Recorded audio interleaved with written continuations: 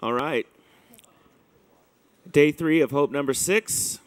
A Couple of uh, quick announcements. Lock picking is going on downstairs from 11 to 3 today. So if you want to muck around with uh, lock picking, and I believe they're actually selling lock picks. Uh, the radio test that's going on, uh, you have up until 12:30 to start that because uh, the test takes about an hour, and they will be leaving at 1:30. So, if you want to check that out, that's on the first floor.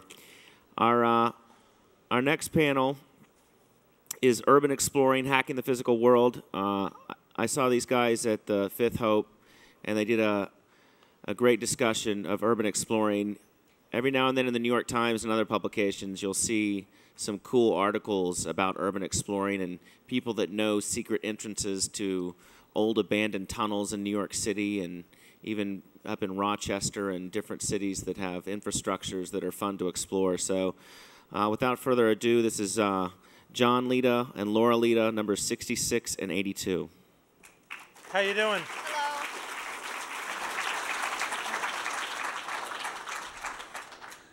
We run a site called LongIslandOddities.com up there on the screen, and among other things, it covers urban exploring on the Long Island area. But by no means do we limit, limit our exploring to Long Island. We explore all over, every place we can. Um, like I said, I am an urban explorer. That means I am an active trespasser.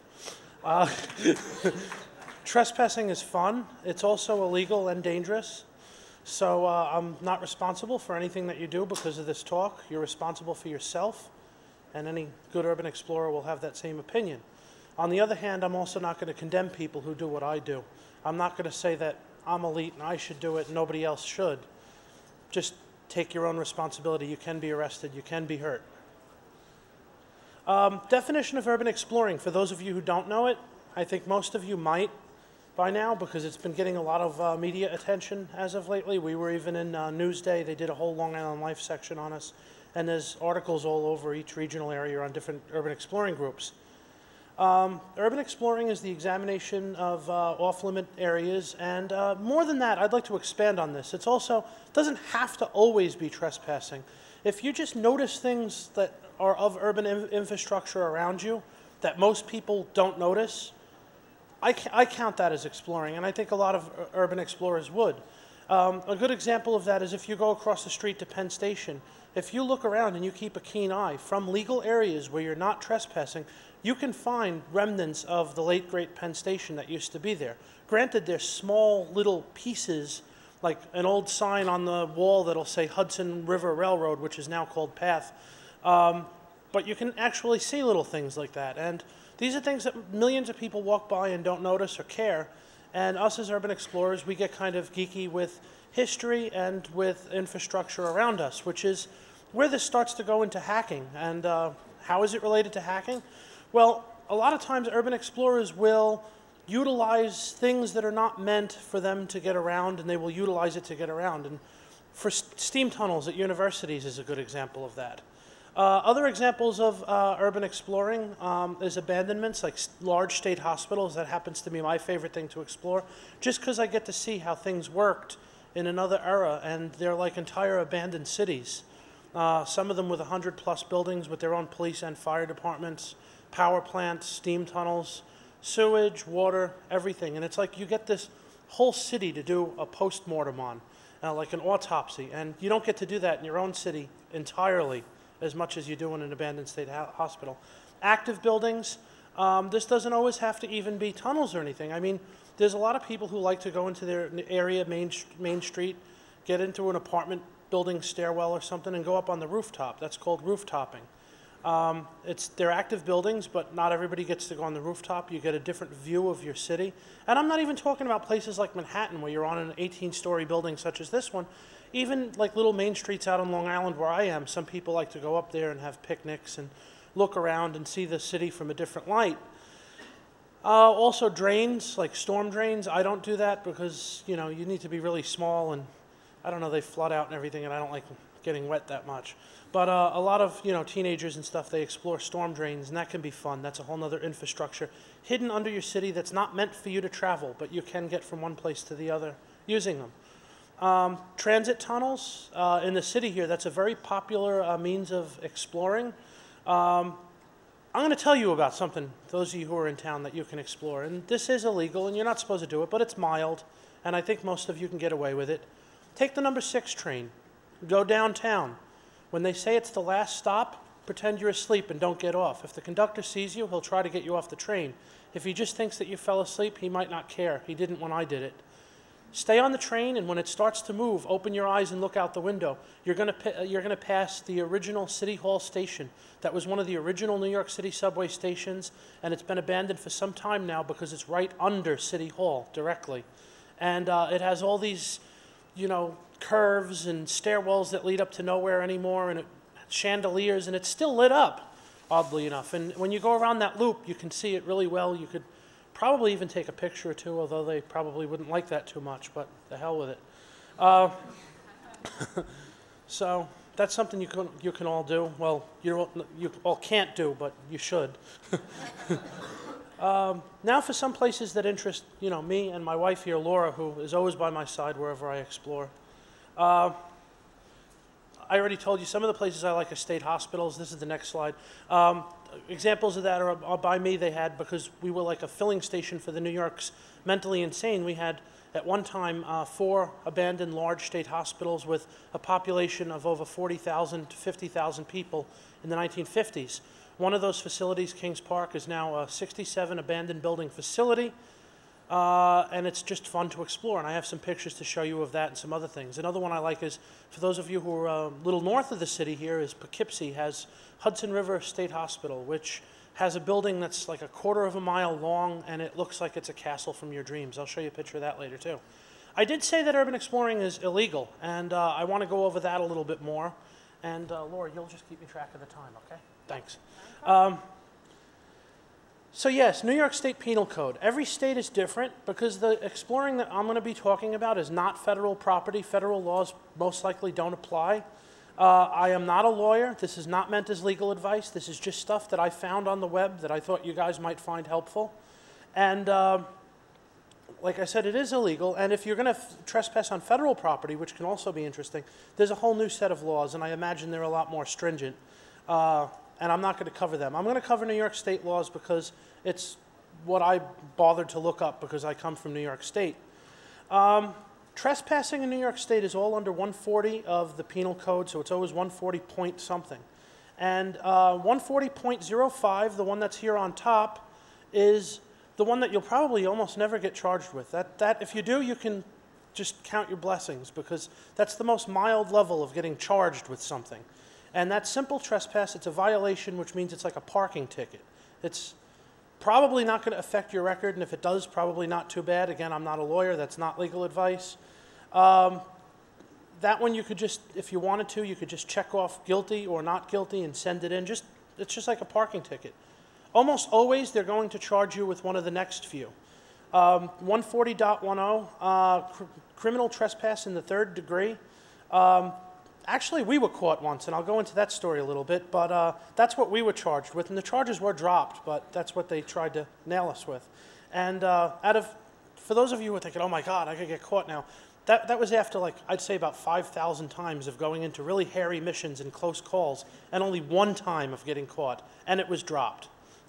so it's, it tends to be, uh, you know, physical trespassers tend to be treated a lot more leniently in our society than computer trespassers do. Uh, I don't think that's fair. Uh, I think that people who are exploring to learn things and not to do harm should be treated the same whether they're physically uh, trespassing or virtually trespassing on a computer. And by treated the same, I mean, you know, slap on the wrist.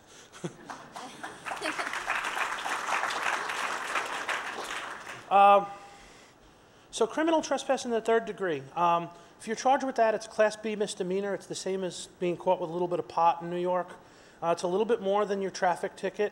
Uh, you can theoretically go to jail for up to 90 days for that, although in reality nobody really does because it's such a minor crime.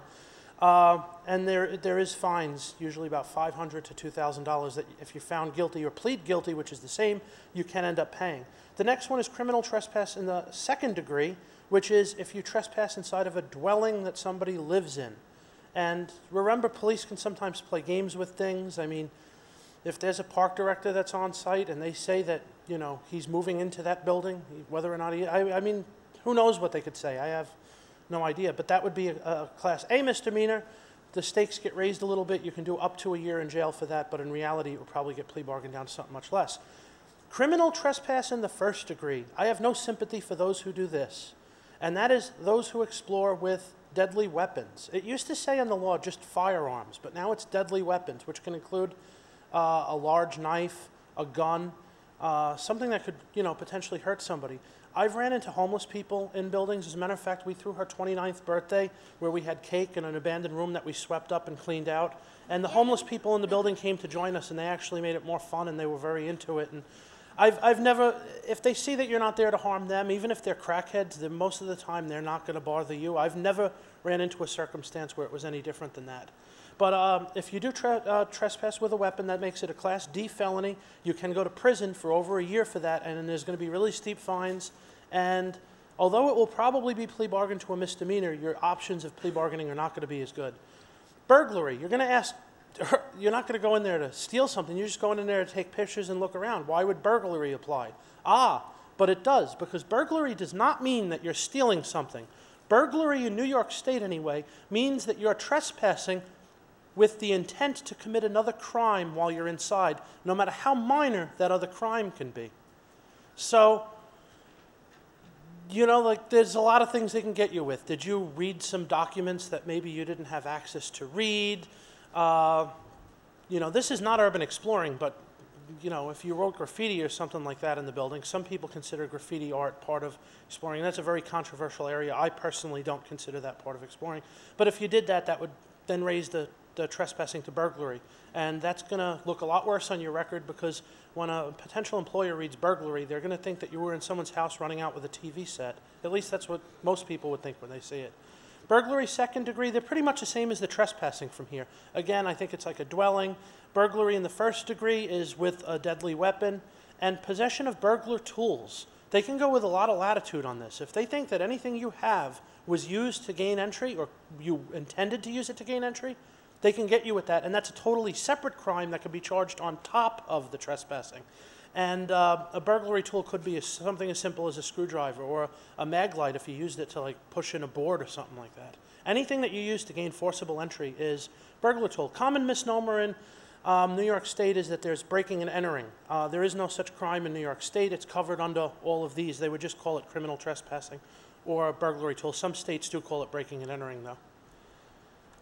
And um, you can find all these laws on Find Law, as I did, and this is just the, from the lawyers, the legal definitions that I cut and pasted from the web with credit on the bottom to them.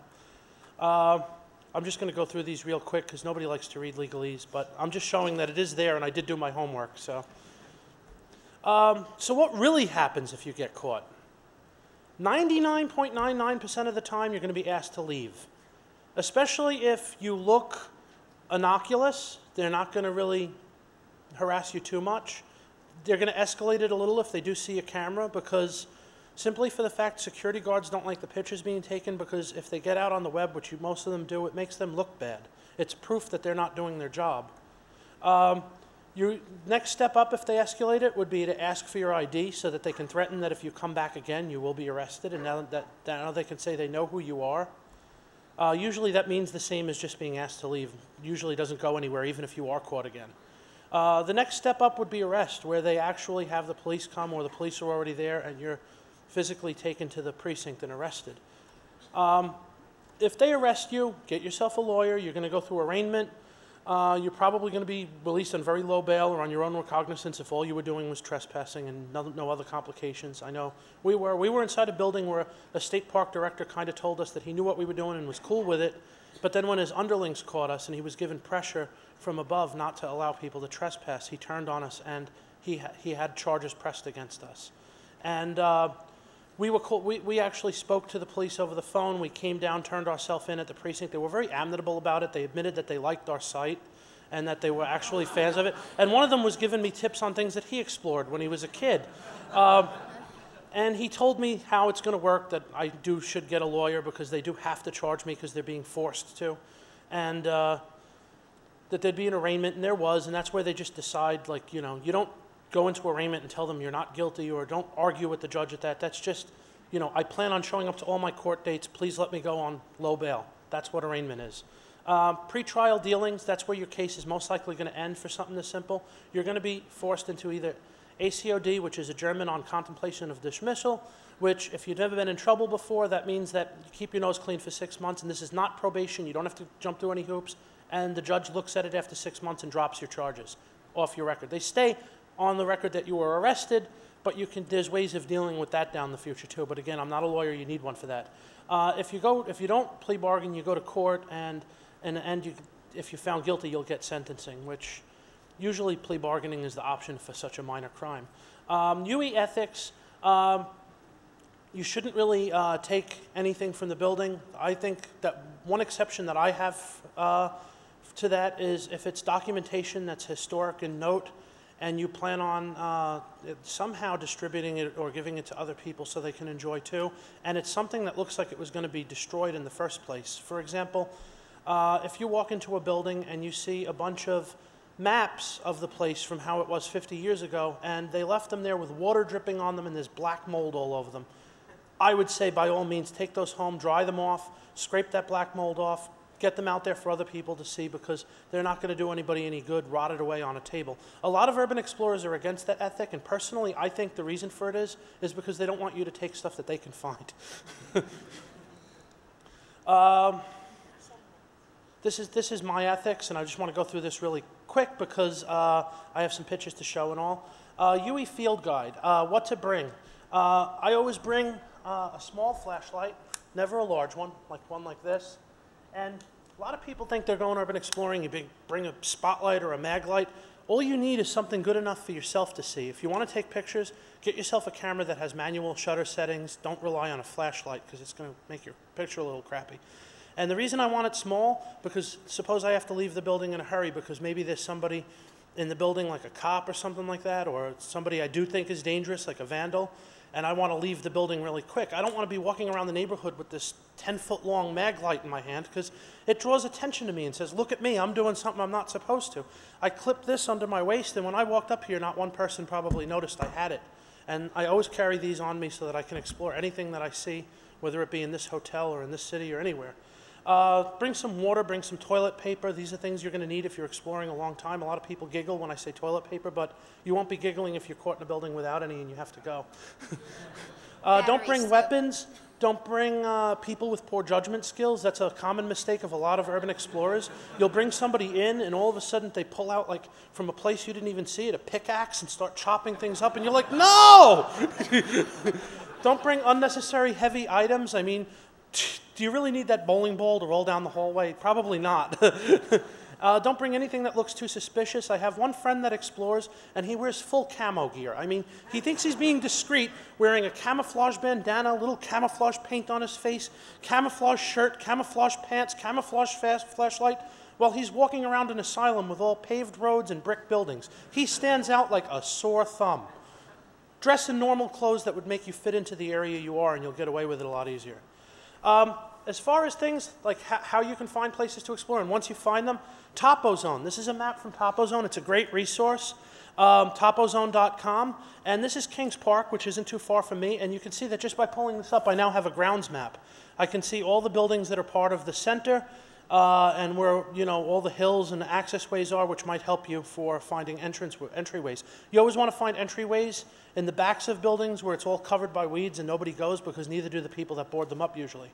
Uh, Google Earth. I, I don't like Google Earth because it, it, it sucks. And uh, if you look at this map, this is proof that it sucks. I don't just say things without merit. It's good for some areas, but this is Hudson River State Hospital. How many people here could make a plan on what they want to see and how they're going to explore based on this? I know I couldn't. There's always ways around. New York State Interactive Mapping, as most states have a GIS system. This one is from the state, and this is the same map. Now I can make plans. I see down here at the bottom, there's a parking lot, way, it, way it's bottom center, and it looks kind of filled. I see a little orange, and indeed that's a Home Depot. Park there, walk back here. What's this? Train tracks. That's, that's going to be, that would be my first way to think of getting in, because nobody's going to be patrolling most likely on the train tracks. And here's that large building I told you about that's a Kirkbride. Um, it's like a quarter mile long and it comes all the way from here and goes like this, this, this, all around here. It's connected to this. And that's, you know, really cool. And it's all connected by tunnels to like this building over here, which is like a 11 story, you know, huge one with wings. And uh, so that, that is a good way to figure out how you're going to gain access, just by looking at different GIS and aerial uh, systems. And you can see where you're going to park. Then a lot of things that a lot of urban explorers, including myself, can't stand is when we get aims from somebody saying, where do I park? How do I get in? How do I avoid security? What is it like? Like, I mean, come on, like just you didn't even bother to look at a map first, and you want me to do all the work for you. At least look at a map first and say, I noticed there's a parking lot in the bottom. Is that a good place to park, or do they patrol? If somebody says that, I have a lot more uh, respect for them than if they just say, Where do you park? How do you get in? Like, it, entrances change all the time, you know, you got to find your own. Um, this is a topo map of Hudson River, also from New York State Interactive Mapping. As you zoom in, it goes from topo map to uh, aerial.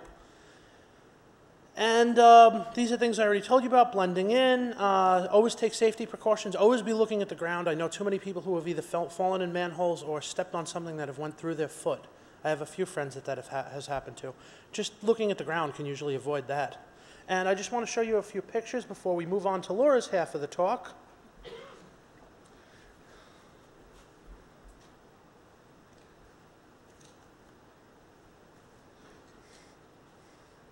Well, actually, first I want to show video clips. I'm going to change the order of this a little. Um, live system. This is the 2600. The magazine actually started in Stony Brook University, and this is the subterranean steam tunnels that are under that university. So it's a little bit related to this. It's a little video we put together. This is the main part of the academic mall at night, and we're going to go underground.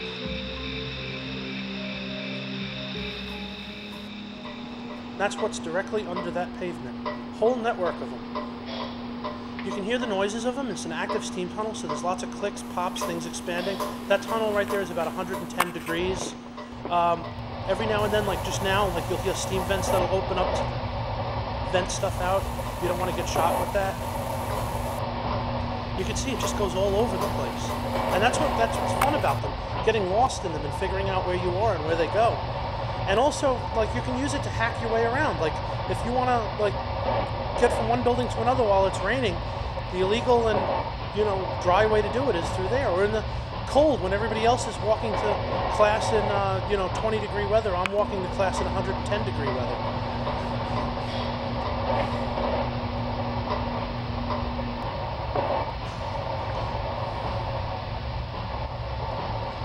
And uh, I'm going to tell you a quick mission log of someplace I recently went. While I show you the video of it, I want to turn the volume down a little because it does have a little. Um, this is a place I want to go for a great number of years. It's off the coast of Plum Island, which is just east of Long Island. Uh, it's actually considered part of Suffolk County still. It's a little military island that's now used for bird research called Great Gull Island, and I could never find a way there. I tried coaxing a friend of mine to take me, but he was afraid of the nearby race, which he said would swallow his 20 foot boat up. And it was a gun placement used in the 1800s all the way up to World War II.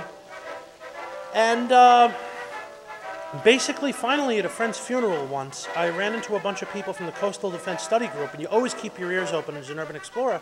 And I mentioned Great Gull Island to him, and he said that he's, his group is planning a trip there in a month. So I hitched aboard their trip, helped them load their equipment on and everything, and I got to spend a weekend at this abandoned island. This is one of the batteries where they used to load the shells into. A lot of things that you try to do with urban exploring is figure out how thing work, things work. You can see the train tracks going in. Obviously, it wasn't a train station. It was used for loading these large shells. This was a 16-inch battery, um, as I found some paperwork that one of the people brought from uh, the research group.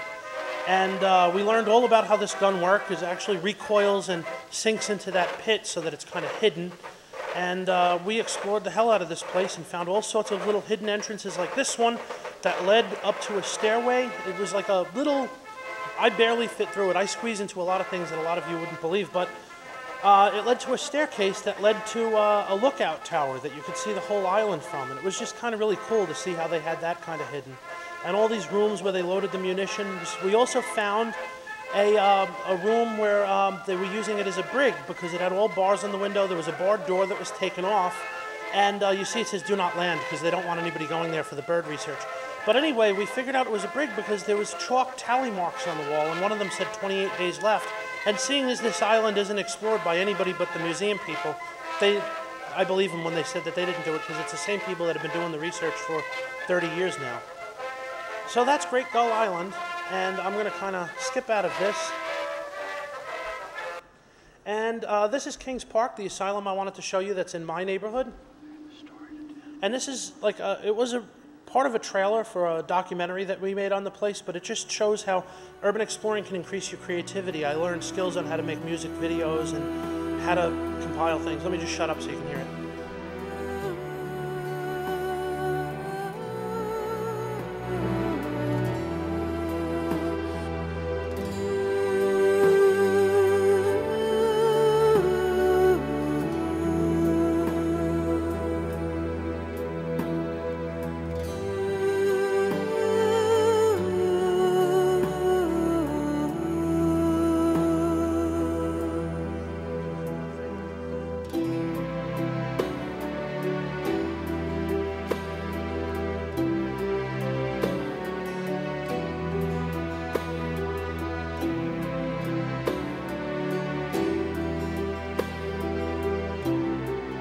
Artwork. You can see, like any city, the place had artwork. It had um, large buildings. It even had a morgue. I don't know if any of you caught that in the video, but it kind of panned into one of the morgue slabs. And uh, it's just fun to explore these places because you can find out how your society works. And I just want to show a few pictures really quick.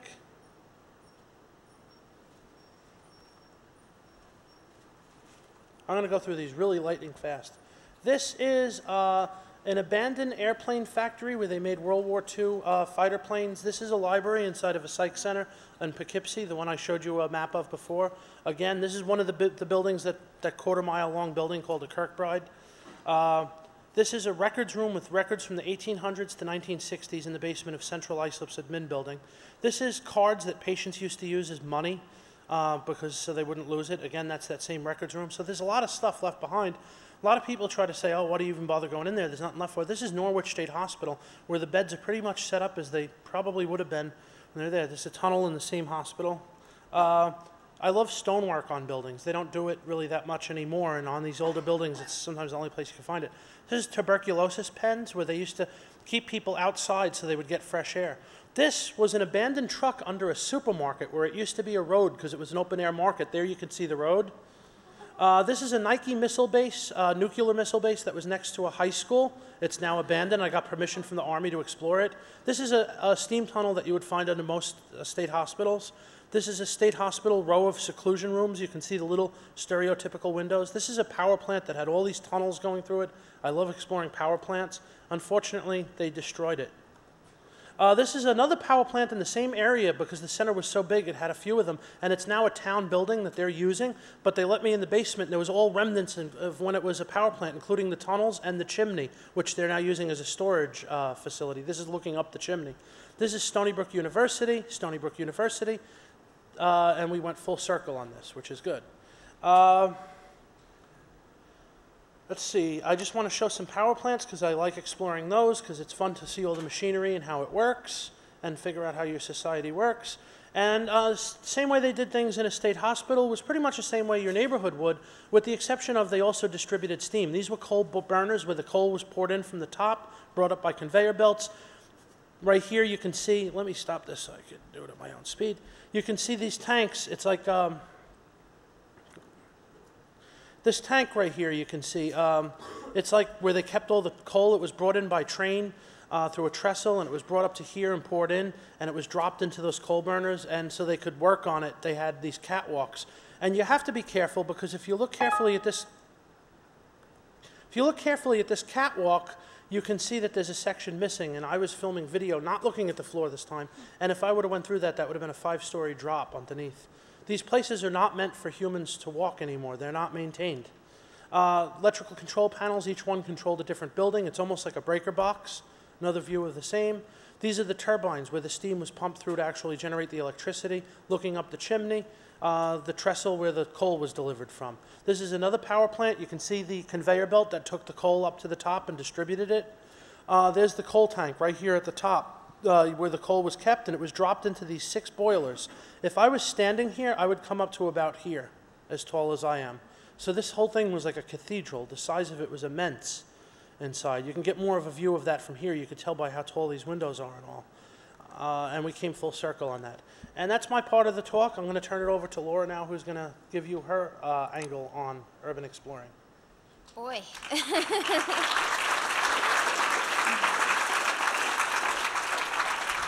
You want? Um, sure. I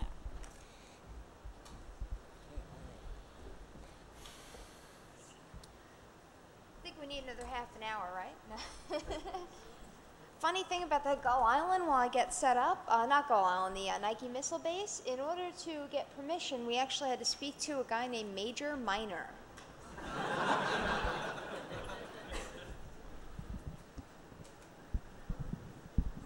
That should be it.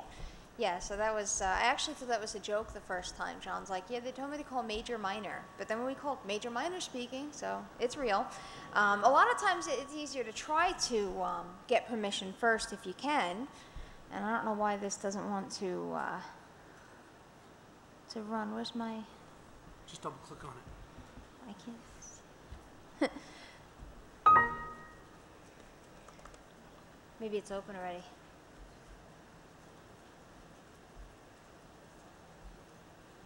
There we go. Oh, Yeah, you just try to open it while it's open. We'll say yes to all this. And I'll play it for you. Yeah, a lot of people urban explore for the thrill of being chased by the police and all that, but any true urban explorer would uh, not like that. yeah, and that's me. That's um, another excuse why to take something from a building. We rescued that little cat from an abandoned building um, that would used to be part of a psych center and that was uh, inhabited by homeless. Poor little scrawny thing was like all bones, and he's now uh, living quite a healthy and happy life at my mom, mother, yeah, my mother-in-law's house. He's four times his weight now. Yes. and probably four times as rambunctious, also. Um, things to see, some of these we mentioned. Um, this is just a kind of a, a brief summary of things that you can see, you know, urban exploring, and I'm sure you'll find a lot more. Um, for us, we tend to focus a lot on the asylums, um, you know, just because there's something haunting about them that uh, it really gets to you. And she doesn't mean haunting like as in ghosts, too, Well- although some people claim that. That's another story It haunts altogether. your soul. Yes, it, it's. Uh, you, I've actually had dreams of walking the hallways after going exploring. It's just something in it kind of gets to you after a while, and it has a special feeling. But um, these are some things. When we first started urban exploring, um, you know, it was a matter of curiosity. We were afraid. We were told that the one place we wanted to explore that there were arsonists and crazy people living in the buildings. But I just had to see what was in there. And um, you know, through years of you know learning what you're doing, and at first you're very afraid, but the curiosity will you know will just overcome that eventually. Um, one of the things you you gain is power of observation. You watch what you're doing. You look at how people are moving to see if they see you. You look at you know routes of security, things like that.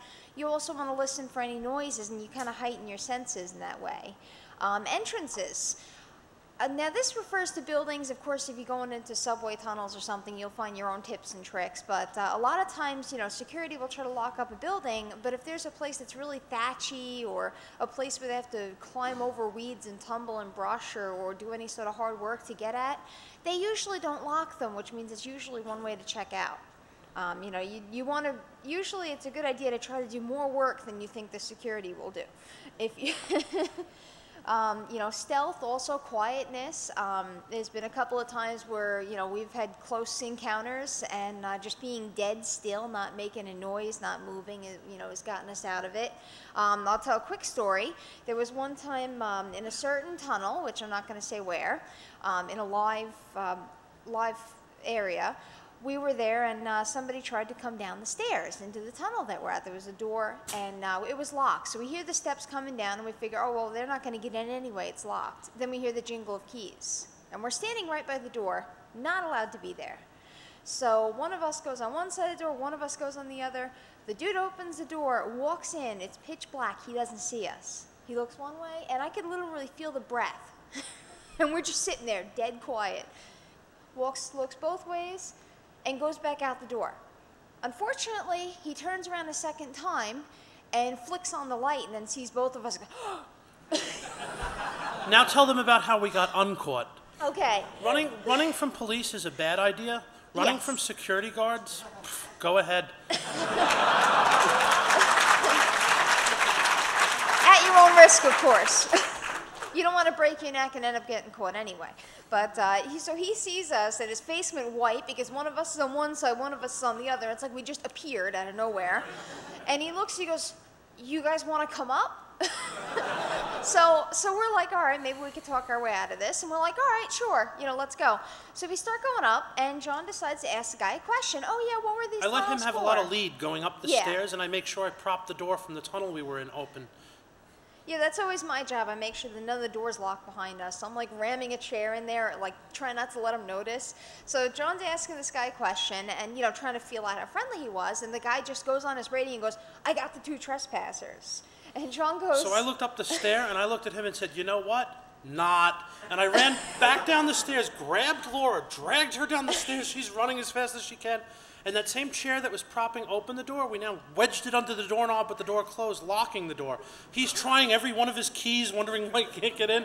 We ran through the tunnel, came out a manhole, got in our car, and rode around the building. the security was all around trying to find a yeah, way we in. actually got to watch him try to look for us as we drove by. Hi! I actually count that as a mishap, though, because if, you know, if um, we weren't heard, that wouldn't have even happened. I think the guy was coming down there because it was a vent that I climbed up a ladder to look out, and I think that I was heard when I did that. And I think he was coming down to check that out.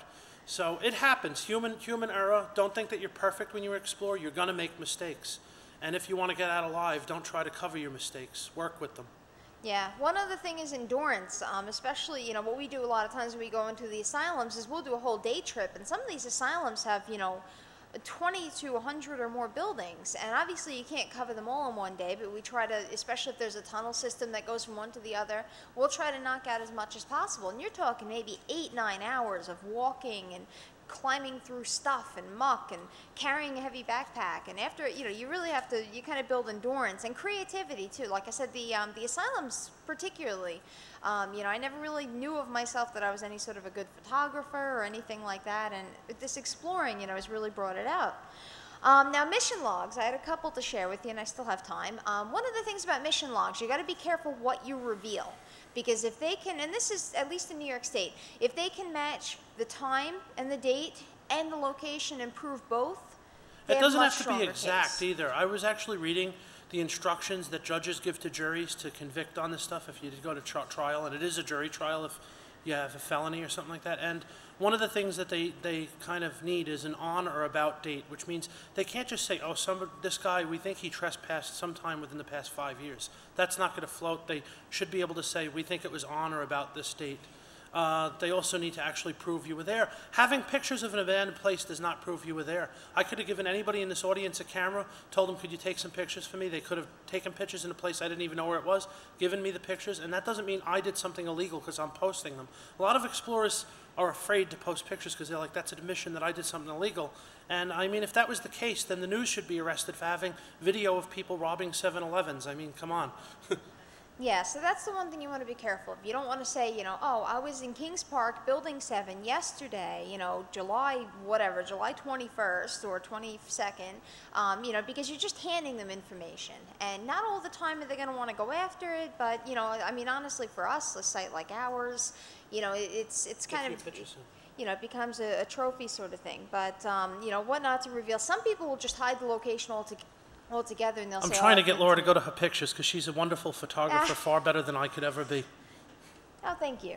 Well, anyway, this is a couple links. You can look at them. If you if you can't write them down, you can always email me at Long Island Oddities. I'll send you links again to buy um, to make your own camera stabilizers. If you're taking video because you're walking, you're climbing over wreckage, and you're going to get this like shaky footstep footage. And this helps. And this is cheap ways to build things to kind of harness it and stabilize it.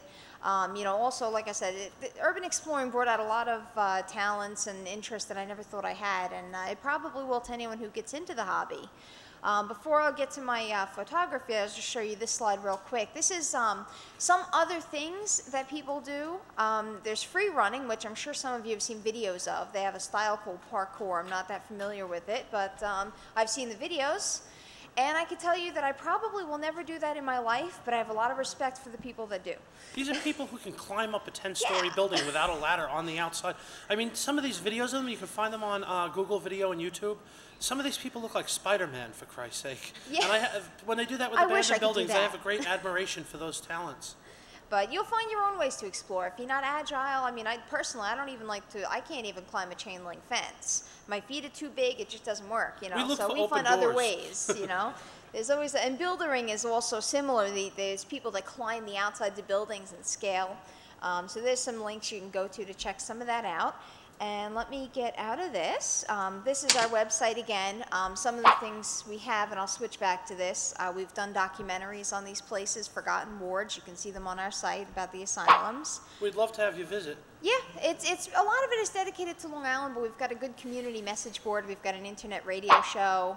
Um, you know, Tuesdays 8 p.m. You just go to the site and listen, and uh, our message board too. So let me get out of this and show you my pictures.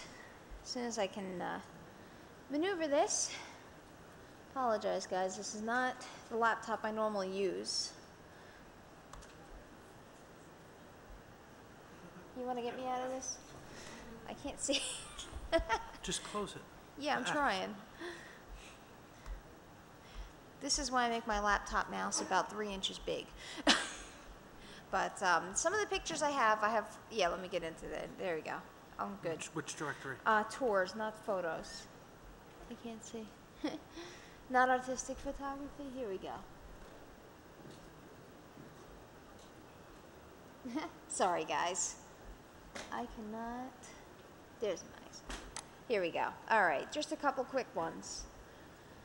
I'll just go through them like this. Does it get cut off if I do that? No, but the lighting is kind of bad to show it. Oh, all right. Oh, it's not cut off though. All right. Well, this was a, a watch factory. Is there a way you guys could darken the screen so they could see some of these pictures better? Because it's killing the, the lighting on it. There you go. All right, there we go. Yeah, this Let is me a brighten- no, maybe yeah, this will and move help. it over a little if you could. Um, yeah, this is uh, a watch factory out east. Um, this is uh, light streaming. It looks a lot better than it does on there. Yeah, this is this is a good shot. It's um, you know, you can find a lot of pictures on our website. This is an asylum at uh, Byberry, and this is where people used to sit and watch the autopsies go on. Of course, it's been graffitied to high heck now. Northeast so- Philadelphia. Yeah, it's unfortunate. Philadelphia in the house. And this is also Byberry. It's a beautiful asylum, but it really has been, you know, damaged in some parts with graffiti. This is a It's a being torn down right now. Yeah, don't make me They've, think they've about torn down like several of the buildings. I refuse to go back there because uh, it would just. It, you get attached to these places and you don't want to go back and see it half torn down. Yeah, this is just a, you know, I do experiments with photography, light and shadow and stuff. Again, this is an asylum. This is a tubercular ward. Um, this used to be where they, they believed that the patients had to get a lot of fresh air, so everything was open. And this is, I thought this was really ironic. There's a window and a book that says "Take care of yourself in an abandoned asylum." There was just something about that that uh, that trick that took me. Uh, this is just a couple of hallway shots from some asylums. This is Eastern State Pen, uh, Eastern State Pen. It's a Legal place to explore, also in Philadelphia. You pay your fee and uh, they let you go in, and it's an abandoned prison. Yeah, you go wherever you want. You just sign a waiver that you know you're not going to hold them responsible if you trip and fall or something. It's it's really a very cool place. Now, Gold Coast Estates. I don't know if any of you have it anywhere else, but on Long Island in the uh, early 20s, of these grand estates from uh, very wealthy families on Long Island. They all pretty much started dying out around the time of the Great Depression. You know, property The Great. Gatsby era. Yeah, exactly. But this is from some of the estates on Long Island. I, I love the stonework. This is just something that I'm very much into. This used to be a fountain. It was an estate that was at one time owned by the exiled king of Albania, but he never actually showed up. But yet they said that his treasure was trapped in the walls, so kids tore, tore the whole place down with their hands, with hammers, with shovels, whatever they could. It was burnt down and eventually demolished. Uh, the ironic part is that the treasure wasn't in the walls, it was the walls. Yeah. A lot of them are very beautiful. Now, this unfortunately is cut off because of monitor resolution, but this was, um, I believe, Greystone, which is another asylum. They've got a lot of old um, wheelchairs there, which makes for great photography. There you go. Thank you. One of the things about photography, if anyone's interested, you try to line things up on third lines, you know, not dead center. So, you know, just, I don't know, um, you know, if anyone's interested in uh, photography. particularly, let me just get to the next Two picture minutes, here. we'll take questions. Yeah. Whoop. This actually, does anyone recognize this photo? You should, it's this hotel. Does anybody remember Last Hope? There was an abandoned part of the hotel. I walked into it accidentally. I'm walking around trying to get back to Hope. I'm like, what is this?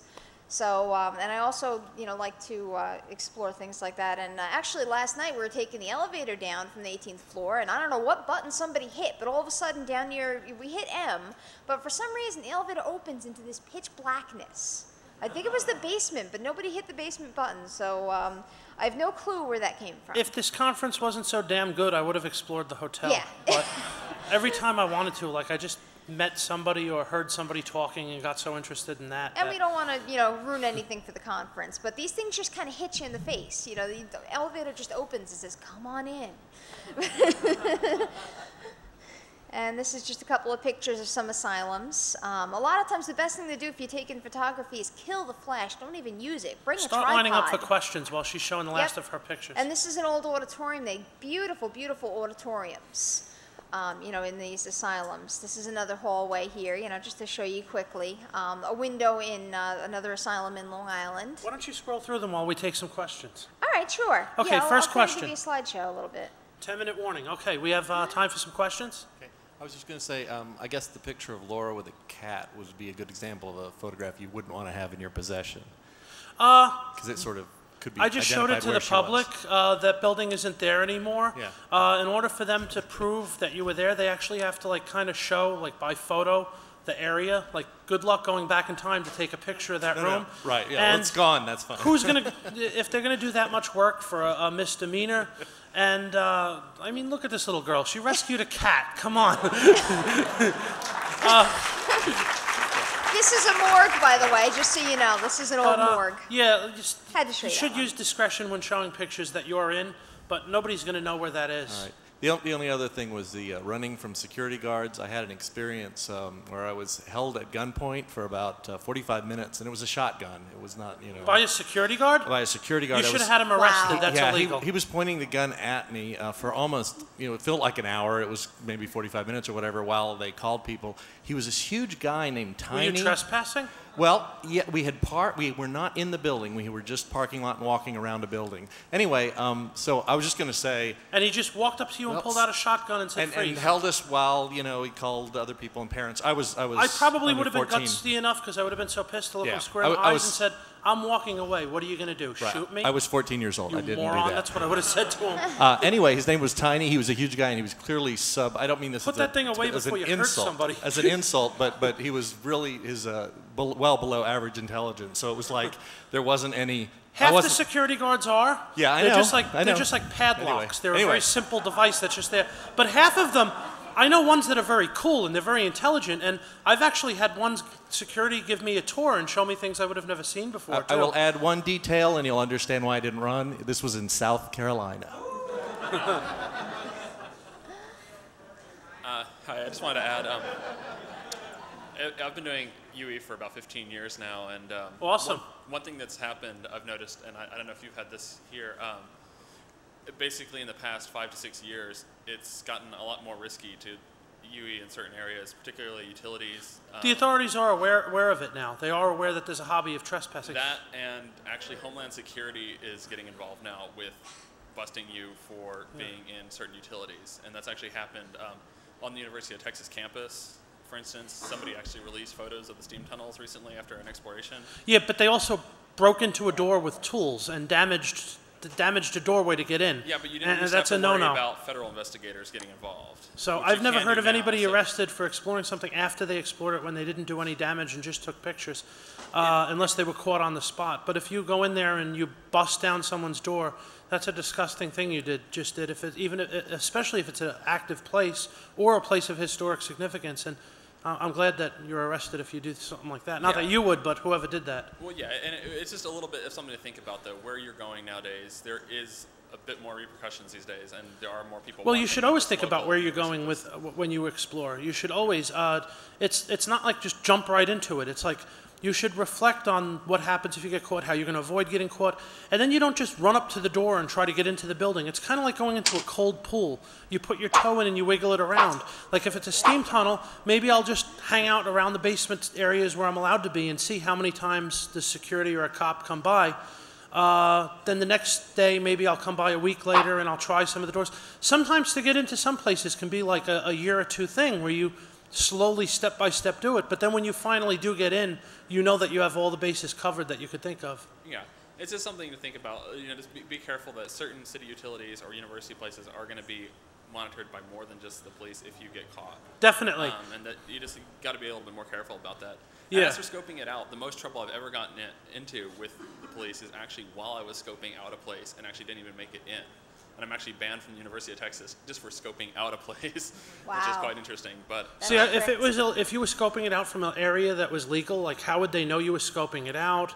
I they mean, just assumed they saw us with lights and everything. that and, doesn't know, sound like you were I given mean, due it- it- process. I mean, you're walking around places you're allowed to be, and they're going to say, "Oh, you're scoping out to trespass." I mean, that It, it, it really doesn't, you know, bother I'd me. fight that. they- It would bother me. I, I, I ignore it. Let me take the next question though, because there's a line of do. people. Thank you. On Long Island, there's uh, the Montauk Point Camp Hero, yes. base. Do you have any information about that? Is it? Uh, yes, Camp Hero is now a state park. You're allowed to walk around outside the buildings of most of it. There is a fenced-off area where there's a radar tower. Uh, you know, people have gotten in the radar tower. There's still old military equipment in there. It's very historic. There's also conspiracy theorists running around saying there's tunnels under the place that used to do all sorts of experiments. And there was an underground, uh, well, buried bunkers. Uh, well, they're not really bunkers, they're batteries from the gun placements because German submarines were a threat to land there during World War I and II. Next question? Hi. Um, first of all, I love your site. Thank you very much for Thank all the you. work you do. on it. Thanks. Um, second of all, I was wondering if uh, there was any particular advice you had and how common it was to, like, while you're exploring, run into people who you might consider dangerous. Uh, it like, happens sometimes, uh, but usually vandals are very dumb, and you're going to hear them before they hear you. There's no way a vandal is going to hear an urban explorer, no matter how large you are, like I am, before or see us before you see them. And I could actually, with her, duck into a corner and have them walk right by. A good story of that is at Pilgrim State Hospital. We were inside one of the buildings, I won't say which one, and we noticed a car parked right out by the door, which no urban explorer would do because that's just stupid and flagging yourself down. And uh, I thought maybe they were in the building with us, so I was looking out the windows when all of a sudden I saw a group of 16, 17 year olds uh, and one of them pulled out a gun and started dancing around with it, and then he was like pointing it at the windows like he was going to shoot. I jumped on top of her like the Secret Service protecting the president, and then we crawled into the tunnels and we went out another building.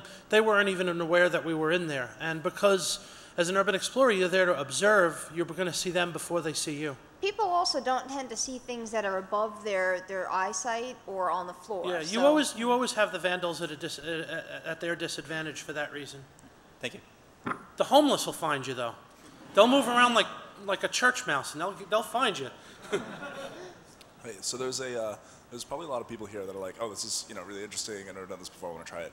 Um, what I'm wondering is, is there any advice you want to give uh, to the new guys, the new guys in particular, that is, you know, don't do this when you go on your first exploration. Like, for example, uh, like never go hacking alone um, and other stuff like that. Don't don't bring weapons because it's really going to, if you are caught, increase what is going to happen. And also, I've brought one friend that I found out later that without telling me he brought a weapon, which actually kind of indemnifies me because I didn't know about it, and the law says you have to have knowledge of it. And as soon as I found out, I immediately demanded that he leave. And what he did was very dangerous. He brought a shotgun shell inside of a flare gun, which would have killed us all if he would have fired it.